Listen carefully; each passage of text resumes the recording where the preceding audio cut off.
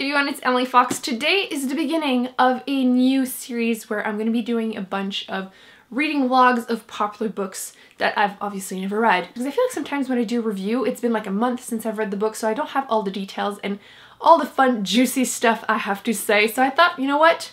Let's start this with this book. This is the first Throne of Glass book by Sarah J Maas. I have read, full disclaimer, the first chapter back in the day, like a year and a half ago, uh, in a try a book try chapter book tag and I read a bunch of first chapter in popular YA books and uh, I was finishing one but then since then I have finished a couple more and I think it's one of the only ones I didn't finish so I thought you know what it's about time and I did have a eh, opinion of the first chapter of this one again full disclaimer uh, so I am starting with a a little bit of apprehension, let's just say that. But I am keeping an open mind. I might completely change my mind. I'm hoping I will, obviously and maybe I'll be able to read the whole series. I believe it's now done and the seventh and last book is out. So it's time for me to start reading the series. I hate reading unfinished series. So basically I felt like the main character, female character, kind of felt a bit like I'm such a badass that I have no emotion, but at the same time, I'm like not like other girls. But obviously it's a first chapter. I might be completely wrong. So I shall be rereading said first chapter and then continuing and I will hopefully fall in love with it. I also have little post-its to put in there. I'll include close-up because I saw these online, fell in love with them. It's not sponsored at all, but I wanted to show them to you because they're little like faces, like little fingers with faces, and I thought it would make this whole thing even more fun so I would be able to actually go back when I do full review or anything and have my full emotions every single moment. And I thought it was really funny. Maybe it's a translation because it is a Korean product, but they decided to call these Finger It, which I thought was a little funny. So again, hopefully we'll make everything even more fun for me. I feel like this is such a hype series on booktube that it puts expectations so high that it's almost impossible to live up to the hype. But again, hopeful. Let's do this. Okay, so I finished reading the first chapter and I wanted to update you. I'm not going to do that for every chapter because I think there's like 50, so it's a little too much to do. But uh, I wanted to update you since I now remembered what was my issue. I was saying how, you know, strong female character to the extreme. And I feel like it's just, it has such like the typical YA angst in it that it becomes such a stereotype. Like think that sentence like, oh, she let out a breath that she didn't know she was holding. You know how people are so sensitive to it because they're like, they've heard it so much and it's so annoying. Well, I feel the same with the stereotype type of that strong female character that could kill everyone in a heartbeat but she's tiny and like so small and pretty and it's exactly what it is with this one. Like you're told like I don't know page two that uh, it was true that she had been attractive once beautiful even level like and you're like okay whatever. And like the fact that she's so much smarter than everyone already and like, I get it, like she's supposed to be the best assassin and everything. So some of it is justified. It's just that I'm so sensitive to that trope that like I can't deal anymore already after one chapter. So yeah, I kind of already put my first little post-it. I decided that this one would be the one that means uh, rolling my eyes because that sentence was like, if she wanted to escape, she only had to do blah blah. The only thing all that uh, the intended disorientation had accomplished was to familiarize her with the building. Idiots. And I'm like, yeah, you're so smart. I don't know why, it just makes me, well, I do know why, it just makes me roll my eyes. So yeah, yeah. I will continue to read it and hopefully it gets better from now on. Obviously, the first chapter, it finishes on a little bit of a, ooh, you know, something happens. So again, Still hopeful, but now remember what were my issues when I first read the first chapter. So I was trying to wait until I was done with the second chapter to talk about it, but like three pages, like three and a half pages in, I can't deal, I need to talk to you. I feel like this is giving me so many examples of the things I don't like, especially in YA books, I feel like they're more common in them. But there's like, oh, the, the guy was wearing like a, a hood to try and make himself more intimidating, and she's like, as if that sort of trick would work on her. And it's like, okay. And then she meets the prince and he's devastatingly handsome. And it's like, princes are not supposed to be handsome. They're sniveling, stupid, and repulsive creatures. This one, this, how unfair of him to be royal and beautiful. And you're like, oh, of course. And then literally like two sentences below, uh, she's in front of him and she's obviously, she's been uh, a captive, so she's dirty as hell. What a miserable state for a girl of former beauty. Which is like, oh, if she was ugly, being dirty was not, would not be miserable. Okay, okay. And then it continues. And it's like literally, like it's the next sentence. At a passing glance, what might think her eyes blue or grey, blah blah blah blah blah, but up close though, these wearing hues were offset by the brilliant ring of gold around her pu- Oh my la la la la. This is why I say that I don't like romance in general because they tend to say those things that I cannot stand more often. And again, it's like romance, why? Or like, why romance, romance, why? And then adults tend to do it less or like everything else basically.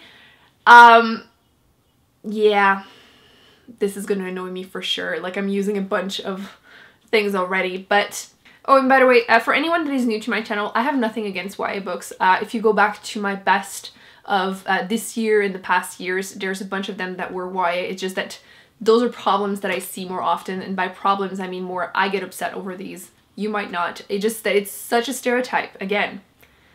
Ah, I'm like at page, like at the beginning of page 9, I'm already just upset about this book. It's gonna be a long, long read. But yeah, um, I'm still hopeful that other than those things, it will be a good story that will make me, you know, look past that. But yeah, I'll push, push through this. We can do this. Okay, so last update of day one. Uh, I'm just at chapter six, so really I didn't read that much today, but still, uh, things got much better since uh, my last update. Although there was still like one really cringy bit, but you know, whatever. Um, things are picking up. I'm very happy about it. Uh, now that we have left all the bits of everyone is oh so hot and everyone wants everyone and I'm assuming there's going to be some type of tension between her and the prince because that's how it is in those books. But uh, we're learning that she's most likely a fairy or half fairy, but I'm assuming fairy, and that she used to have magical powers, so that's really good. And I have a feeling she might be like the daughter of the king and blah blah, like of the fairies. I feel like that's kind of feelings I'm getting. Might not be true. I was going to say don't tell me any spoilers, but uh, when I post this, I'll have finished whole book. So unless it's spoilers for future books, definitely don't give me any spoilers, please. Uh, yeah, it's picking up. I'm very happy about it. But yeah, I, I had like that one more cringy place. Actually, the whole paragraph that I had mentioned was continuing was still cringy. And then it got like kind of bad with the whole like the prince looking at her a little too long and instead of being disgusted, she's kind of into it. And it's kind of like, it's like he's looking at her and she's like, yet the fact that it even bother to look when she was in such a filthy state, a slow smile spread across her face and just like, okay. But that was pretty much the only thing. After that, it's been perfectly okay and I'm happy we can move on, like I said. So uh, yeah, the book is actually like 400-ish pages and I'm page 33, so really I didn't make that many, that much progress today. But uh, I think we've come across the worst and I'm excited now. Like I was, I'll admit it, I was uh, a little skeptical of this whole reading vlog thing, but I'm happy to continue. I'll probably continue a little bit later tonight and then this week. I'll try to read it all in a week so I can have like fresh dots and I, I know myself if I put a book down, I'm not to pick it up, so we can do this. Okay, we're the morning of day four. Uh, let's pretend I don't look insane. I'm doing my skincare and I needed to push my hair and let it dry. So I wanted to update you on the book because I obviously made some decent progress. I'm currently at like 270 so um, the good news is that there's as many post-it in the first chapter than in the next like 200 pages. So things definitely picked up. Um, yeah, positive, start with that. Uh, I definitely think the plot started now that we like moved on from telling us how pretty and petite and how different she is.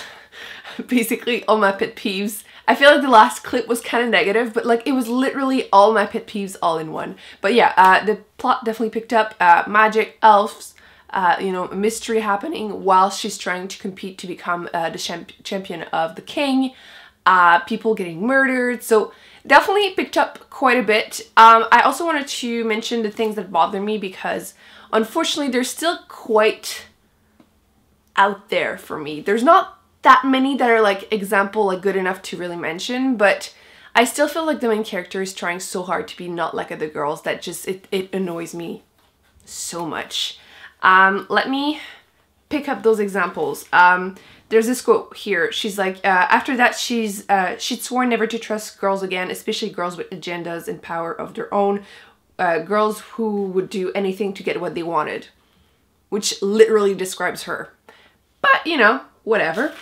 Uh, and then, uh, literally next page, she uh, kind of implies that, well, uh, basically, if you're not a headstrong girl, uh, you're wooden-headed ninnies uh, who can only open their mouth to give orders and gossip, which is like, again, this one is a little bit of a stretch, but not that much considering her attitude in general. One that really annoyed me because I feel like this is more common usually in fantasy books written by men, but it's great to have an example written by a woman so that way I can finally, you know, give especially like a specific book for that.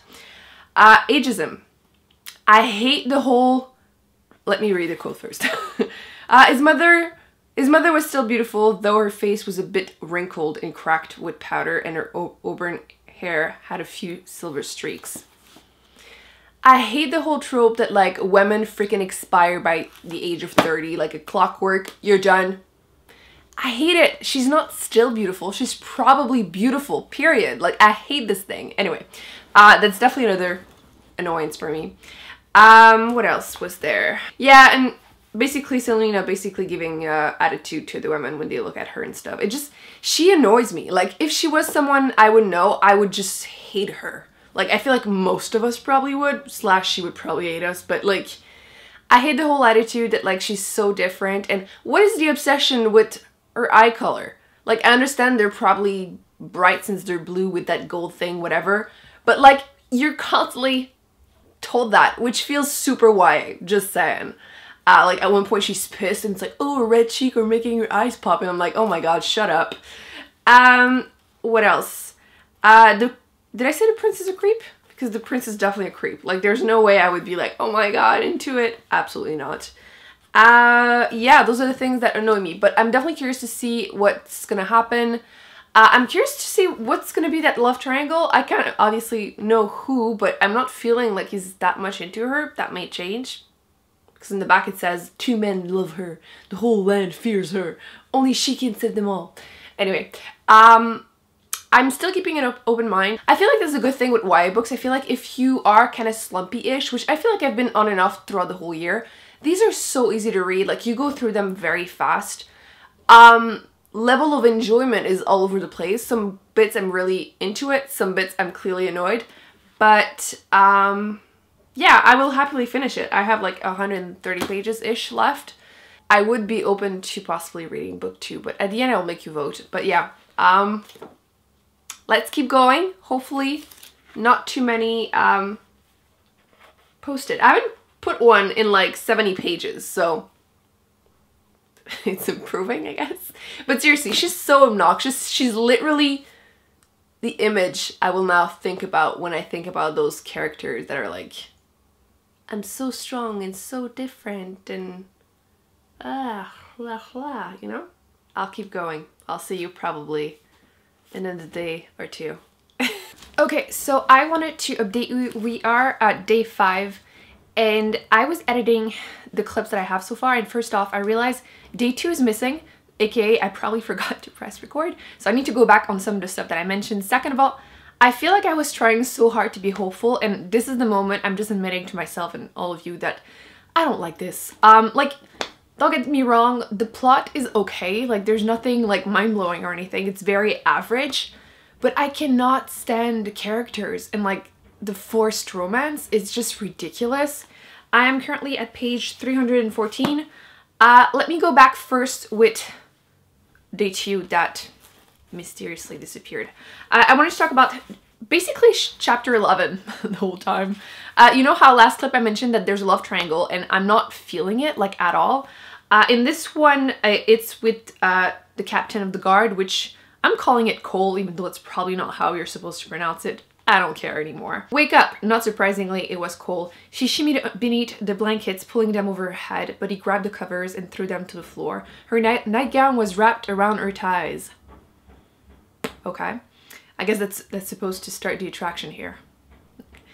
It's cold, she moaned, holding her knees to her body. She didn't care that she only had a few months to beat the other champions. She needed sleep. It would have been nice if the crown prince had considered bringing her from Endovier earlier, so she would have some time to regain her strength and blah blah. How inconvenient for the prince not to think about the feelings and the sleep schedule of the evil, evil assassin that she is. Whatever. Let's keep going.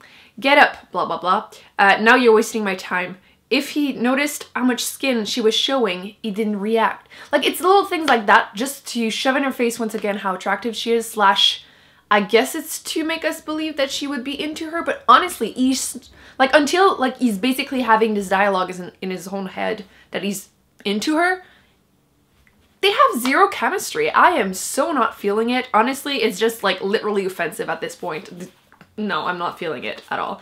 So it just, like, goes like that and now let's go back to where I'm at now. Actually, let me just go say one more thing because I did mention she was rude to other women and I wanted to give the quote because I wanted to just like shove it all your faces to how annoying she is. Basically, as she's walking towards the library, she's smiling to the boys, or men, whatever, and smirked at the court women who eyed her pink and white gown. She couldn't blame them, the dress was spectacular, and she's and she was spectacular in it. What a fucking bitch. Just gonna say it. Um she at 17 just spent 1 year being a slave in a mine and she's still this much of a bitch. Like why are you smirking at women? Like why? Like they're not even saying that they're like staring at her badly. Like she's just a complete asshole. Anyway, uh Again, that's, that's why I can't stand her. I also wanted to mention, uh, with the same thing with the relationship with Chaol, who's probably not pronounced Cole. Um, again, he's the captain of the guard.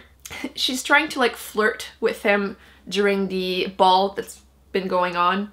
And she's not even supposed to be there, so he's just staring at her like, the are you doing here? But she's smiling and flirting and inviting him to dance, and why did Chaol never joke with her as Dorian did, Dorian being the prince, which I don't know why the captain of the guard is not flirting with everyone like the prince, including you. Perhaps he truly didn't find her attractive. The possibility of it stung more than she would have liked to admit. Or she would have liked, whatever. Why do you even care? Like, it, I don't know. Like, I, again, it's it doesn't feel like, you know how some romance will feel genuine, like you can see it growing and growing?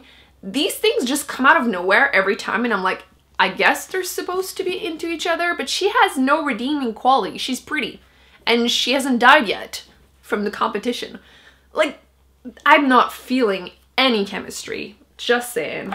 And then, um, what else would... Oh, yeah. Plus, she's supposed to be, like, this badass assassin, again, at the age of 16. Um... I don't think she's that great, just gonna say, because like people pop out of nowhere, she doesn't hear them come into the room or anything. And then like on the day of Yulemas, which I'm assuming is Christmas in that world, um, she wakes up and there's a bag of candy next to her, which one didn't wake up. Okay, didn't hear anyone. And um, there's no note, no anything, and she just eats half the candies. People have been dying, being murdered, like horribly, but you're gonna eat candies from a stranger. They could be poisoned. There's a competition going on. Like, I don't know, like, those little things just make me, like, feel like she's the worst assassin ever. And truly unbelievable as a character. And, I don't know, at this point I'm just kind of angry at the whole plot because I'm still waiting for things to just actually happen. There's less than 100 pages left. And... I was so hopeful. I was still trying to be positive, but, like, I can't be. Like, you can't expect me to like this character. Like, the plot is fine. Again, not mind-blowing, but it's perfectly average. But the characters are just so freaking ridiculous. Like, I cannot stand the girl. Like, I want to, like... You know? I was hoping that it would be, like, character growth. When I was being, beginning the book, I thought there would be some, you know, throughout the book she would become less and less annoying. Until I realized, dude, she spent one year being a slave in the mines. and all she cares about is how pretty she is. Doesn't make sense. It, it just doesn't make sense. Um, again, I will finish the book. Um, I'm assuming maybe in future books she might become less annoying. Maybe the romance will make more sense. But so far, I'm just, I don't get it. I, I just don't get it. So yeah, uh, this was day five. I'm probably gonna have it done tomorrow and we'll have my final thoughts. But come on, who's into Celaena? Like, ha I just finished the book. Uh, so we are day five, clearly same day just later, much later. And uh, I wanted to give you my final update. I don't have much to say in form of like even plot or even post it. There's only one I want to talk about, but like I just realized I have a pimple killer.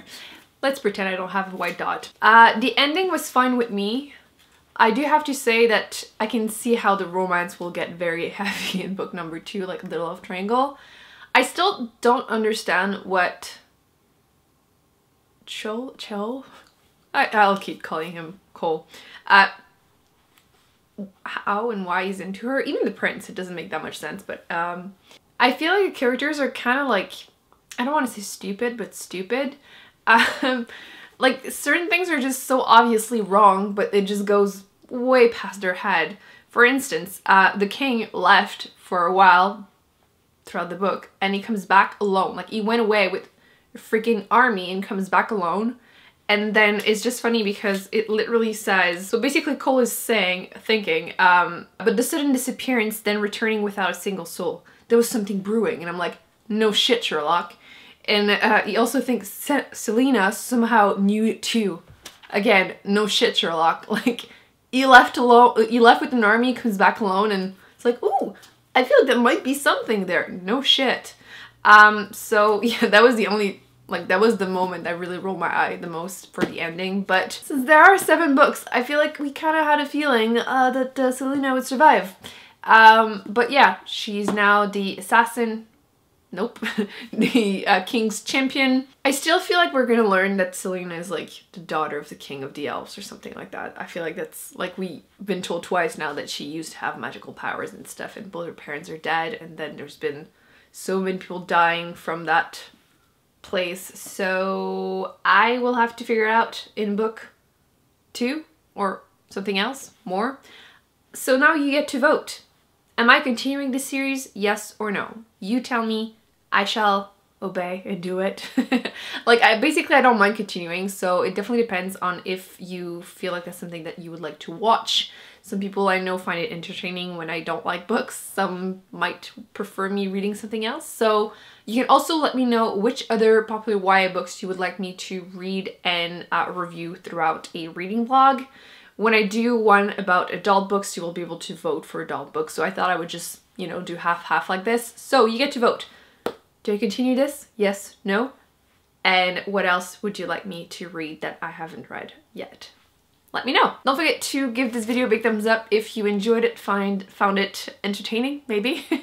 don't forget to subscribe because you definitely don't want to miss any of those future videos. Plus, I'm planning all my best worst books of the year very, very soon. And I will be putting on the screen other videos that I've done that I recommend you check out. And I will see you in my next video. Bye.